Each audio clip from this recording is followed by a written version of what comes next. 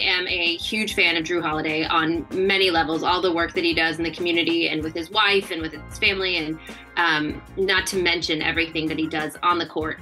But I agree with you in that the money thing doesn't make sense, particularly how much they have invested in their top three at the moment, the Celtics and Jayson, Jaylen, and now Kristaps. And not to mention that he can opt out after next year. So I, I am I am one for putting all of your chips in, but I think that and I do believe that the Celtics will do their due diligence and go after Jrue Holiday if it's at the right price. But I, I would imagine that the Celtics price is very different from what this bidding war is going to turn into. The thing about it, if they do acquire Jrue, is it goes against everything that we have been told all off season, and that is this is Jayson and Jaylen's team. They need to step up into those leadership roles. They need to be the ones on the floor directing traffic, calling plays, being the guys with the ball in their hands and this is their team. And we have seen repeatedly what happens, and it's to no one's fault. But you brought in Kemba Walker, who is who was as deferential as a former All Star could be at the point guard mm-hmm. position, and it was still too much. Marcus Smart was named starting point guard, and apparently it was still too much. They want the Jays to be the guys. They are the guys, and now it is their time to take that mantle for this franchise and run with it and get to banner number 18.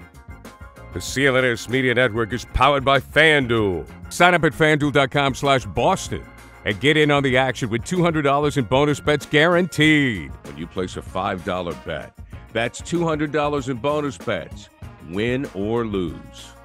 So, a few things. Uh, I feel well, one, Ev, I mean, you would know you do these shows every single week with me and, and Abby. I'm sure we've had some of these conversations as well over the course of the off season. But I, I just feel honestly a little bit vindicated in the sense that I have been saying for months, for months, that the Celtics are still looking to trade Malcolm Brogdon and still more than open to the idea, if not outright dangling him. Doesn't mean he's going to get traded, but the fact that all of these reports, again, Himmelsbach, Windhorst, you name it, the fact that all of this is happening, like I haven't been making it up, folks. Malcolm Brogdon is no sure thing to be here come media day or come mid training camp or come opening night or certainly midseason, this is a whole other conversation. The Celtics could be looking to, you know, move him in picks for some sort of a trade deadline upgrade, but that's that's not the same thing. You know, I'm talking about the here and now. He could absolutely be moved. The other part of this, which is well, sort of goes in series. I've said if you're going to trade Brogdon, you're going to do it for a guard.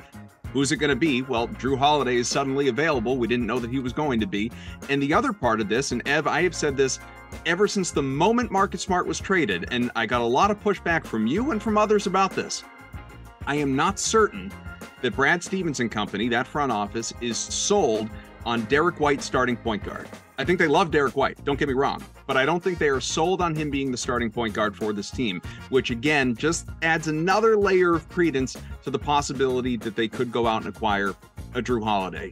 As far as whether or not they do this, I think that some what Abby just hit on is is uh, you know bringing up the the potential opt out 100% in the, that what that tells me is that if in fact a move happens and i'm not even saying it's likely but if in fact a move happens i think you're looking at brogdon you're looking at horford. And i know horford's a fan favorite. He's an internal leader and all of that. He's you know great just a guy you want on your team no doubt about it. But when you start to think about the contracts and age and you know protections for rob williams going forward the fact that holiday can go you want to protect yourself as much as you can and you want to have rob under contract Horford contract's coming up, and hell, he could come back and re-sign again if he wanted to.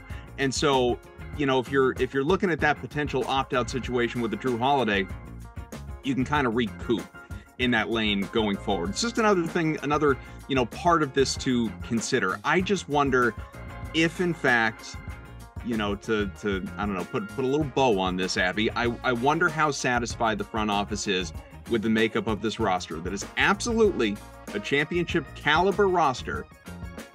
But do they feel the need to respond to what the Bucks just did to where they now, all due respect to the Jays, it is now the Bucks that have the best one-two punch in the entire NBA.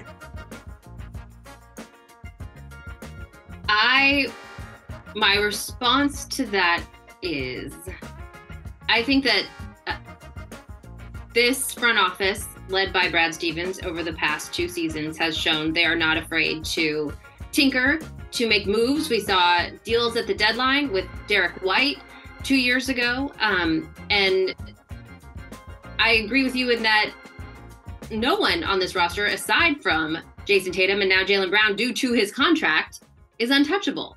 And so I I think that and and Brad said this when he was speaking to Gary Washburn that there's no question when you are the Boston Celtics, there is a sense of urgency every season.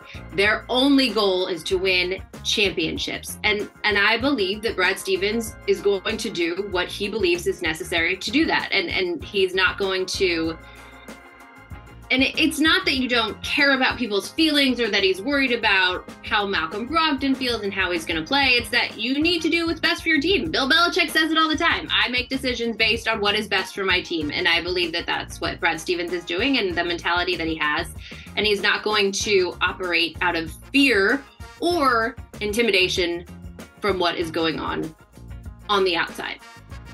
Well, to your point about the emotion, I mean, he traded Kemba Walker, who you know, is just on a personal level, I'm sure he didn't want to do. He traded Marcus Smart, which again, I'm sure on a personal level, he didn't want to do. I don't think Malcolm Brogdon next to those two guys is is going to give him any pause.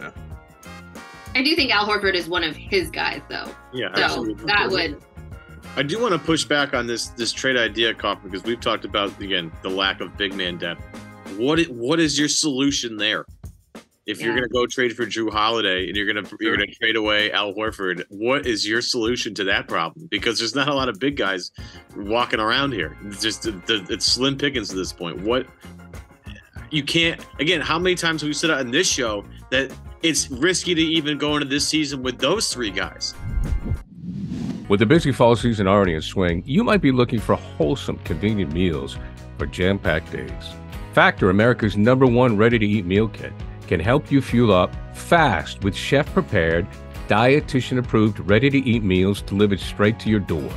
Head to factormeals.com slash newsfeed50 and use code newsfeed50 to get 50% off.